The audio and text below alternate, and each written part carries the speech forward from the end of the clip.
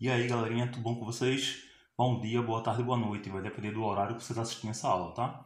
Vê só, pessoal do sétimo ano, principalmente para a galerinha que está estudando animais invertebrados e vertebrados.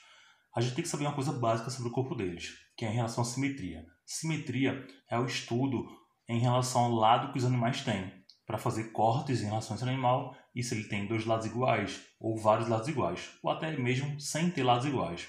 Por exemplo, a gente pode dividir em dois grupos: os animais assimétricos e simétricos. Os animais simétricos, que possuem simetria, podem ter simetria bilateral e radial. Vamos ver isso. Vê só.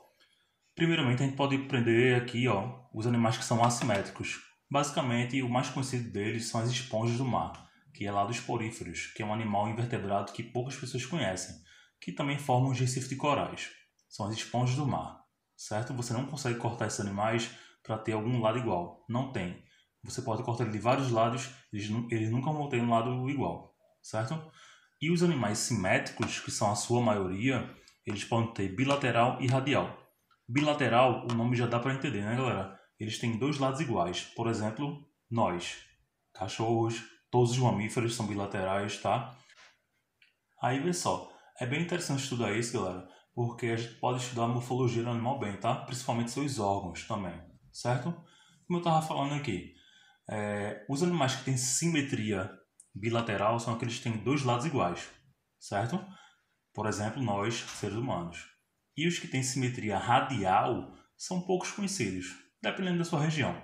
Mas tem os animais do invertebrados cnidários, por exemplo, as medusas, as anêmonas do mar, tem também os equinodermos, os ouriços e estrelas do mar. São bem legais, tá? Se você cortar esses animais, fazer planos nele, cortes, é, você vai conseguir vários lados iguais dele.